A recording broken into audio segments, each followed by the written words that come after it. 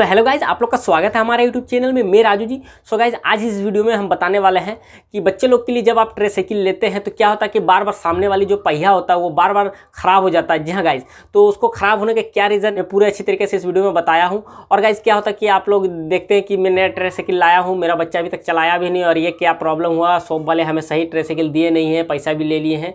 तो जी हाँ गाइज़ ऐसा कोई बात नहीं है। इसमें प्रॉब्लम क्या हो जाता है कि सामने का जो होता है, जैसे कि आप हमारे इस वीडियो में देख पा रहे हैं, ये क्या होता है कि अंदर में एक नट होता है, ठीक है? वो नट लूज हो जाता है, प्रॉपरली सही टाइट नहीं रहने की वजह से। जी हाँ गाइस ये अधिकतर प्रॉब्लम आता है न्यू ही ट्रेसाइकिल में। जी हाँ गाइस तो आप विदाउट मैकेनिक के, विदाउट सोप ले जाए हुए खुद से ही किस तरीके से रिपेयर कर सकते हैं अपना घर में ही? जी हाँ गाइस तो मैं स्टेप बाय स्टेप बहुत ही अच्छी तरीके से बताया हूँ। तो आप हमारे इस वीडियो को पूरा ज़रूर देखें, बिना स्किप किए हुए आप लोग को समझ में आ जाएगा कि किस तरीके से रिपेयर करना बहुत ही आसान है और ईजी है। जी हाँ गाइस कोई ऐसा प्रॉब्लम नहीं आएगा। तो चलिए, आप लोग का ज़्यादा समय ना वेस्ट करते हुए वीडियो को शुरू करते हैं। वीडियो शुरू करने से पहले गाइज़ अगर आपने अभी तक हमारे चैनल को सब्सक्राइब नहीं किए हैं तो सब्सक्राइब कर ले और साथ में बेल आइकन भी प्रेस कर दे, क्योंकि मैं इस चैनल पर इसी तरह की वीडियो लाता रहता हूँ। भविष्य में आप लोग को इससे भी अच्छी अच्छी वीडियो मिलेंगे। और गाइज़ एक चीज़ बताना चाहेंगे, अगर आपने अभी तक हमारे इस वीडियो को लाइक नहीं किए हैं तो वीडियो को पूरा देखने के बाद एक लाइक कर दें और अदर दोस्तों को शेयर ज़रूर करें जी गाइस क्योंकि वीडियो बहुत ही ज़्यादा नॉलेजफुल है और अदर दोस्तों को भी काम में आने वाला वीडियो है सो चलिए वीडियो को शुरू करते हैं।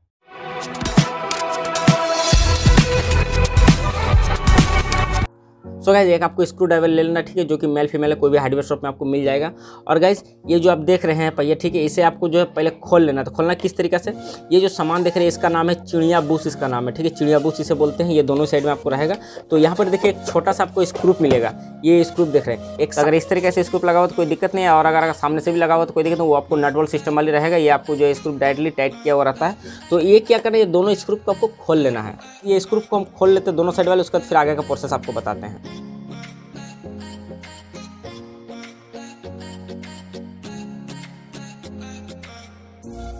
तो गैस ये देखिए, हमने दोनों स्क्रू को खोल लिए हैं। अब इसको निकालना किस तरीके से चक्का को? इस तरीके से उठाना, उठाने के बाद हल्का हल्का इस तरीके से प्रेस करेंगे। तो ये देखिए, हमारा चक्का जो है निकल गया है। हमने चक्का को खोल लिए हैं। ठीक है, चक्का खोलने के बाद देखिए, मैं आप लोग को दिखा देता हूँ सबसे पहले। तो गैस जैसे कि आप देख पा रहे हैं, ये जो नट देख रहे हैं, नट दोनों ही देखिए लूज हो चुका है, ठीक है? बच्चा पैडलिंग करते करते क्या होता है, ये नट जो है प्रॉपरली टाइट नहीं रहने की वजह से लूज हो जाता है। जी हाँ तो आपको ज़्यादा कुछ करने की ज़रूरत नहीं है। अपोजिट साइड में आपको चक्का को देखना है, ठीक है? अपोजिट साइड में देखेंगे तो अगर आप देखेंगे तो इसमें आपको नट लगा हुआ नहीं मिलेगा ओनली फॉर एक पत्ती रहेगा जो कि वेल्ड किया हुआ रहता है, ठीक है? तो ये अगर वेल्ड अगर छूट जाता है तो इसे आपको पूरा खोल के वेल्ड करना पड़ेगा। हमारा देखिए वेल्ड छूटा नहीं है तो इसे इसे आपको क्या करना है? इस तरीके से देखिए, यहाँ पर जो आप देख रहे हैं, यहाँ पर इस जगह में देखिए, यहाँ पर देखिए चौखट चौखट टाइप का इसमें घाट बना हुआ है, ठीक है?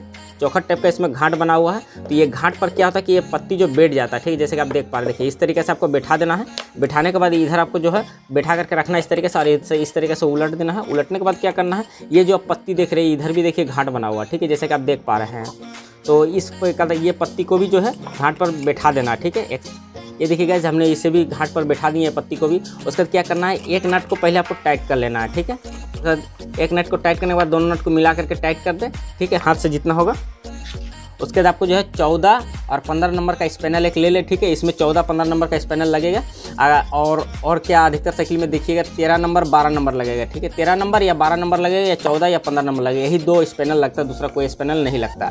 जहाँ ऐसे इसका जो नट का साइज़ होता है, यही होता है। तो इसे आपको क्या करना प्रॉपरली एकदम टाइट कर देना टाइट किस हिसाब से करना है, ये चीज़ का ध्यान दें। अगर हद से ज़्यादा अगर टाइट कर कर देते हैं तो ये बेंड हो जाएगा। तो इसको टाइट क्या करना है, पहले जो अंदर वाली नट को पहले आपको फुल टाइट दे देना इस तरीके से। देखिए, इस तरीके जो फुल टाइट हम दे देते हैं, उसके बाद फिर आप लोग को बताते हैं।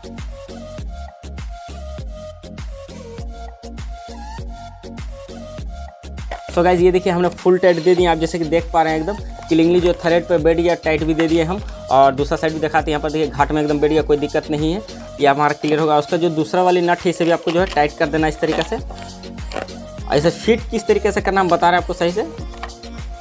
देखिए ये जो दूसरा नट है, इसे भी आपको जो पूरा फुल टाइट दे देना है, ताकि एक नट जो दिया जाता है, उससे अगर बच्चा पैडलिंग करता है तो दूसरा नट रोकेगा, खुलने नहीं देगा, ठीक है? दूसरा नट दूसरा नट इसको रोकता है कि खुलने नहीं देगा, इसलिए डबल नट इसमें दिया जाता है। कोई कोई ट्रेसाइकिल में आप देखेंगे, जो कम दाम वाले ट्रेसाइकिल होता है, उसमें सिंगल नट दिया जाता है। इसीलिए वो बार बार ख़राब हो जाता है और वो जल्दी रिपेयर भी नहीं होता है। सो गाइज़ ये देखिए, हमारा जो एकदम पूरा फुल टाइट हो गया प्रॉपरली अब ये दिक्कत नहीं करेगा। अगर आपका साइकिल में से प्रॉब्लम होता है तो आप इस तरीके से नट को टाइट कर ले। नट टाइट करने के बाद फिर जिस तरीके से बूस्ट सब लगा हुआ है, उस तरीके से आपको जो है फिट करना। अगर बाय द वे अगर आपका पत्ती जो है ट्रेसिकल अगर पत्ती वो वेल्ट छूट जाता तो वेल्ट करा करके लाए। और जिस तरीके से आप खोलेंगे सारा सामान, उसी तरीके से आपको फिट करना है। जी हाँ गाइज़ इसी तरीके से होता है। ये देखिए, हमने बूस्ट को सारा चीज़ सेट कर लिए हैं। अब साइकिल पे फिट कर देते हैं। देखिए गाइज़ इसको फिट करना है किस तरीके से? एक चीज़ का आप ध्यान दें। आपको दोनों सेंटर पहले मिला लें, ठीक है? सेंटर मिलाने के बाद क्या करना है? इसको जो है आस्ते आस्ते जो है दोनों साइड पहले बराबर मिला ले। मिलाने के बाद इसको क्या करना है? एक साइड हल्का हल्का ठोकना फिर दूसरा साइड भी ठोकना इस तरीके से। ये देखिए हमारा एकदम पर्पली जो है बैठ गया है, ठीक है? बैठ गया। अगर ये बूस अगर कम बेसी लगा देते हैं तो इसमें क्या होगा? चक्का का जो अलाइनमेंट है, जो चक्का आपका मिडिल पे है, वो मिडिल पे नहीं रहेगा साइड हो जाएगा। जी हाँ जब बच्चा पेडलिंग करेगा तो ये आपको सट सकता है ये फ्रॉक में। तो ये चीज़ आपको ध्यान देना है, ठीक है? चक्का का एकदम मिडिल पे कर लेना सेट जैसा कि आप देख पा रहे हैं, हमारा एकदम देखिए मिडिल पे हो गया है। क्योंकि हम खोले नहीं अगर आप बाय द वे कराने के लिए पत्ती को खोलते हैं तो आपको जो है मिडिल पे बढ़िया से देख लेना चक्का को। उसके बाद एक बार में अगर सेट नहीं हो तो फिर दोबारा निकालें, और दोबारा निकालने के बाद फिर से बूस वगैरह सेटिंग करने के बाद फिर दोबारा लगाएँ। जी हाँ कोई दिक्कत नहीं है। उसके बाद क्या करना है गाइज़ इसको आपको कुछ करना नहीं है।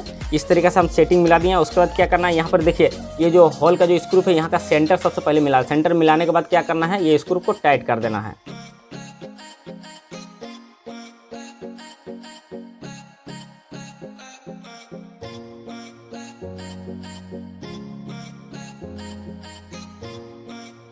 सो गैस आपको क्या करना दोनों स्क्रूप को जैसे कि हमने टाइट किए हैं उस तरीके से दोनों स्क्रू को आपको टाइट कर देना है। अगर सेंटर नहीं मिलता तो दोबारा खोलने के बाद फिर इसको आपको पलट देना है, ठीक है? तो हमारा सेंटर मिल गया, इसलिए हम पलटे नहीं। अगर आपका सेंटर नहीं मिलता तो आप पलट के फिर से इसको सेंटर मिला करके फिर स्क्रू को टाइट कर दें।